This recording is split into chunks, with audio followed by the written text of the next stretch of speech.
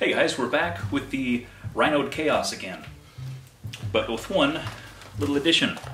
This little knob here, which is the potentiometer of a PWM, which is a pulse width modulator, which is fun to talk about. You talk about a pulse width modulator at school or at work, and people think you're some kind of engineer and probably want you to fix things. But here, this is going to control the rate of fire on the conveyor through the uh, Rhino pusher we added because, as I showed in the last video, that's almost a little ridiculous, the rate of fire you get out of the, the Rhino or even a Hellcat pusher. And so sometimes it'd be nice to just dial it back a little bit or dial it up a little bit depending on you know who you're playing with. We play at, uh, at a, a business, a, an arena business, kind of like Dart Wars.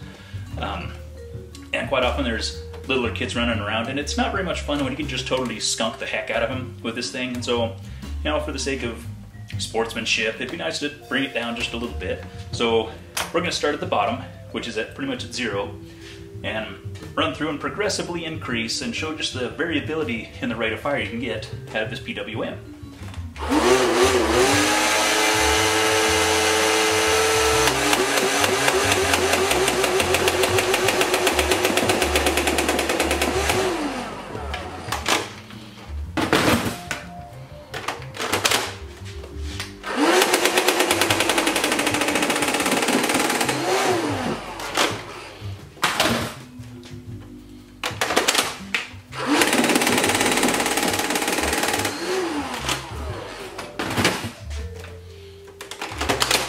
And we'll bring it back down to the bottom again.